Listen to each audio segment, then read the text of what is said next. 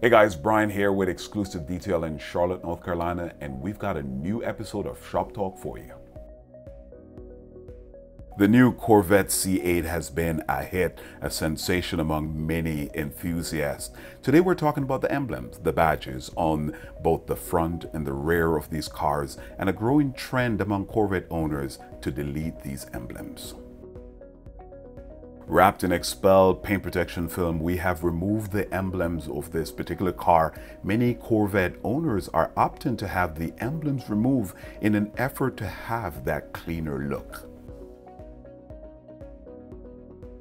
At Exclusive Detail, our role is to serve the minute details of our most discerning client. In the case of this client, we are removing the emblems prior to the film's application. Our removal process is done in such a way as to have no marring of the vehicle's paint. We further edit the pattern of the film to remove the pre-drawn cutout from the emblem. One great advantage of editing the pattern in this manner is the elimination of dirt buildup around the film's edge where the cutout of the pattern would have existed.